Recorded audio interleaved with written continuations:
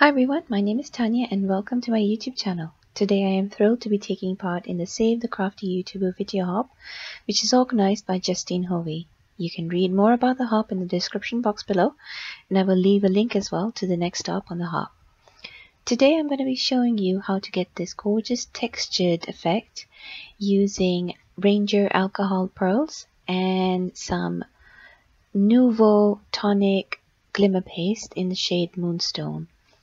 So I've got an older uh, Crafters Workshop stencil here and I am particularly fond of these mandala style designs and I am applying the glimmer paste to the stencil which I've sort of temporarily stuck down on a piece of um, craft plastic sheet this is an equivalent to Yupo paper. So it is a, um, it's not made of paper, it's made of plastic.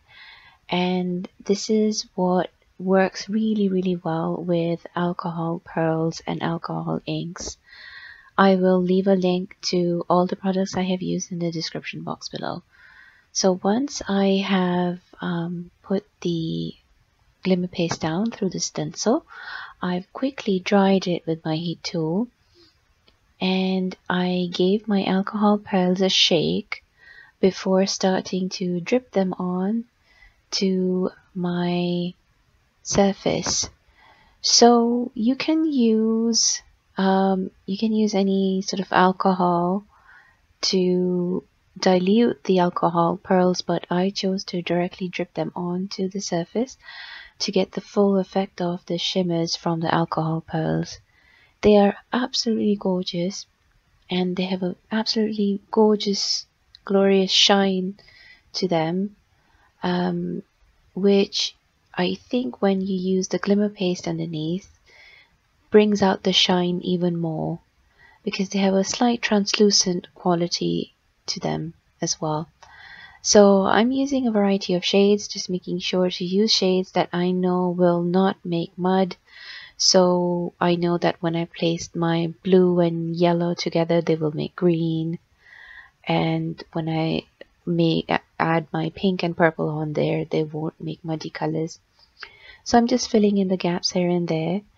And as you can see, it didn't take very long to get this beautiful design and I absolutely adore the textured effect that you get and you can see a little bit of what that shine looks like.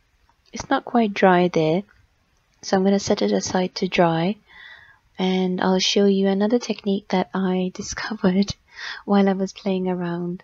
Um, I tend to experiment a lot when I have all of my craft supplies out so I wanted to see if there was some way for me to get like a resist effect using alcohol pearls.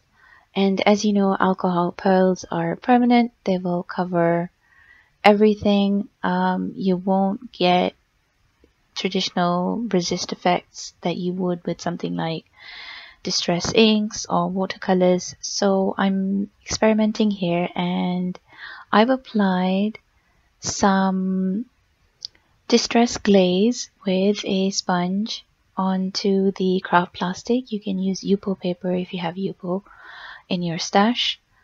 Um, I prefer using craft plastic because it has a nice and sturdy and it's quite thick and it's a bright white color.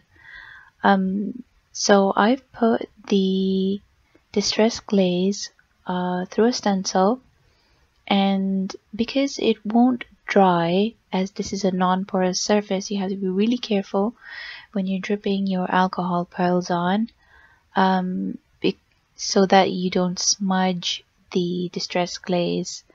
And the way the alcohol pearls moves through all the crevices of any sort of texture paste or textured surface that you use it on is just absolutely mesmerizing to watch.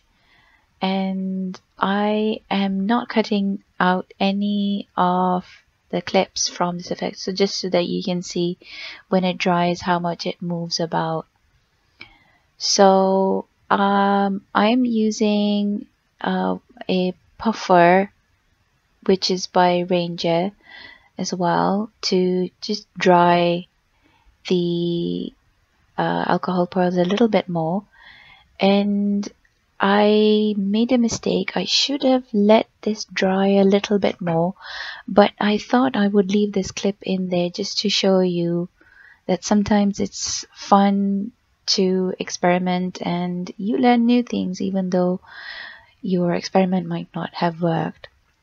So once that has dried a little bit, I am just taking a kitchen towel and I am buffing off the distress glaze which as I said won't dry uh, completely because this is a non-porous surface.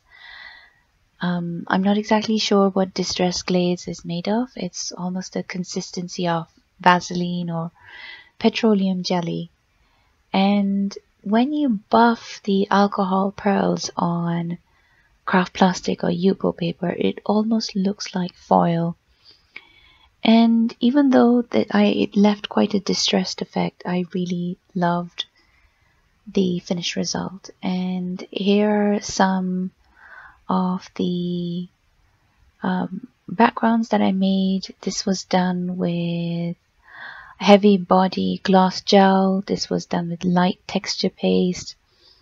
And this next one, I spritzed through a stencil some distress resist spray and once they're dried I put on the alcohol pearls and I rubbed it off with some adhesive remover.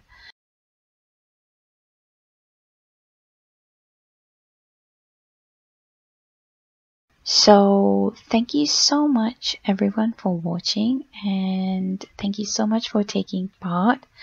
I just wanted to give a big shout out and a thank you to all the sponsors and Justine for organizing this hop. Please don't forget to comment because a lot of the YouTubers taking part are giving away individual prizes on their videos along with prizes that the sponsors have generously donated. I'm also giving away a $25 gift certificate to Ellen Hutson. Thank you so much for watching. Take care and have a great day. Bye.